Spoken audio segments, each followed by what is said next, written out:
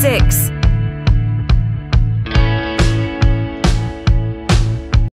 Hey there, little friends. Welcome to BoboZix's channel. We are going to learn and have fun together. Learning is always fun. Are you ready to discover something new today? Let's get started with today's adventure. Today, we're going to discover the four elements of matter earth, water, air, and fire. Are you ready for an exciting adventure? Let's dive in. First up is our sturdy friend, Earth. Earth is everything solid around us mountains, rocks, and even soil. It's where plants grow and animals live. Can anyone tell me what your favorite thing about Earth is?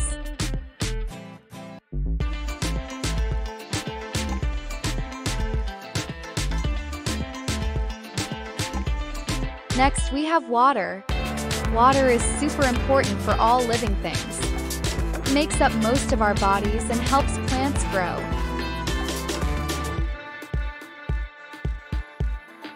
Let's play a game. Can you make waves with your arms like water? Let's see those wave motions.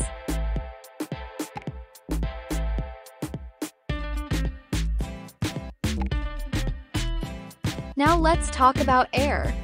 Air is all around us, even though we can't see it. It helps us breathe and makes things fly. Who can take a deep breath and blow out like the wind? Let's all do it together. Inhale and blow out.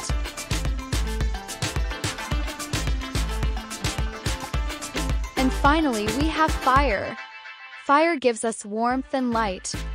But remember, it can be dangerous if not handled carefully. Let's pretend to roast marshmallows over our campfire. Who loves this, Maurice?